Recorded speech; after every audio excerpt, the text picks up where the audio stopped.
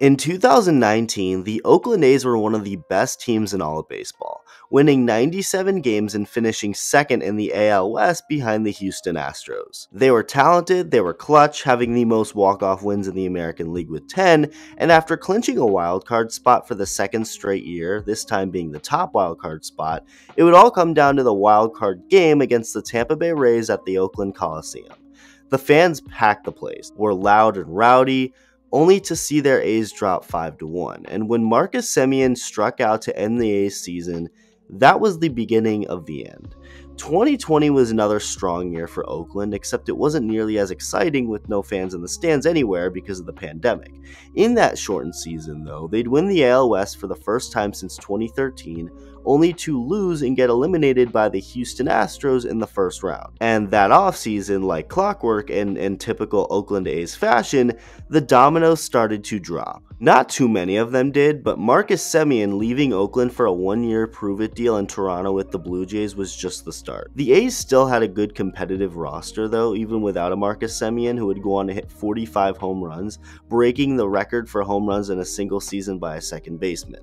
With that said, they didn't match the prior three seasons, seasons which featured playoff teams going to win only 86 games in 2021, finishing third in the division and missing out on the postseason for the first time since 2017. And then boom, the destruction of an entire franchise seemingly overnight. That offseason, the A's did a fire sale, trading all of their good players. They trade Matt Olson to the Braves, Matt Chapman to the Blue Jays, Chris Bassitt to the Mets, Sean Manaea to the Padres, while also letting players like Starling Marte and Mark Canha leave in free agency. They even lost their manager, not by firing him, but by letting him leave and sign a new contract with the Padres to become their manager and as you would expect, the fans did not respond well to this.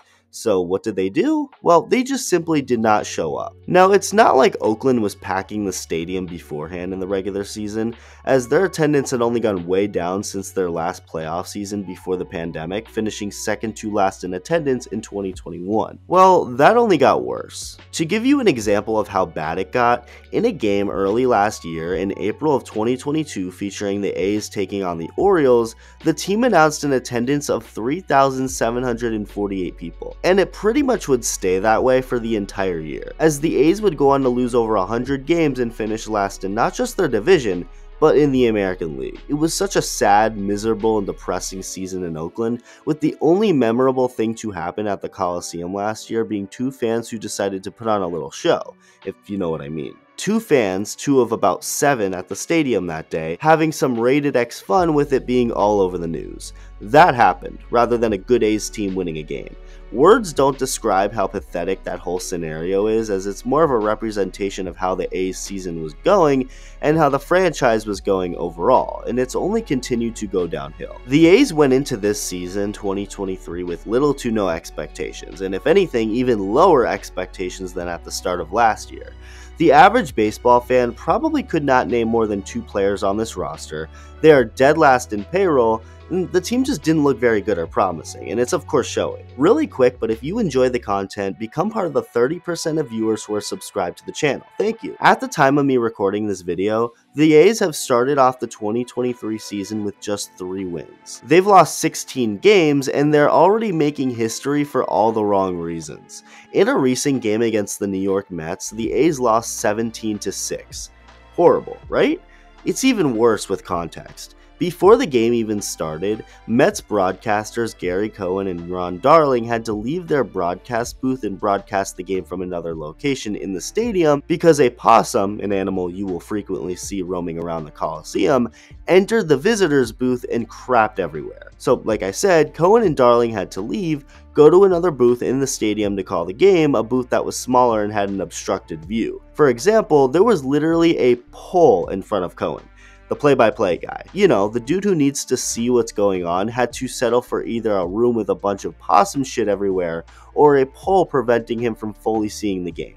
That's the Oakland Coliseum for you. As for what happened on the field, A's pitchers walked not one, not two, not three, but 17 Mets hitters throughout the game. 17, with four of them coming with the bases loaded. That is unheard of. And I don't know what's sadder, the fact that this happened or what A's manager Mark Kotsay had to say after the game. quote, We've been continually sending the message to these guys that they've got to throw strikes.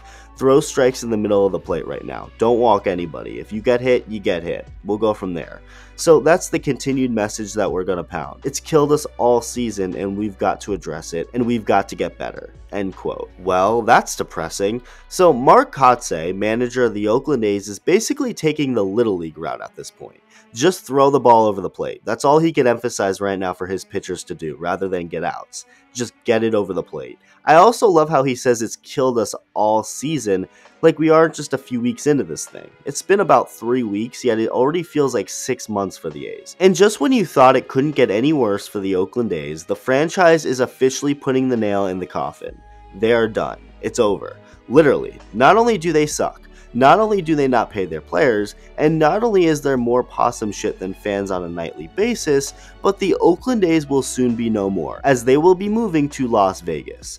It has just been reported that the Oakland Athletics reached an agreement to acquire land near the Las Vegas Strip and said that they hope to be playing games in a new billion dollar retractable roof stadium on the site by 2027.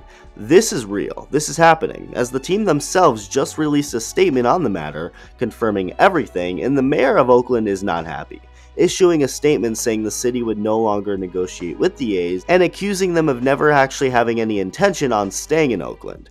Quote, the city has gone above and beyond in our attempts to arrive at mutually beneficial terms to keep the A's in Oakland.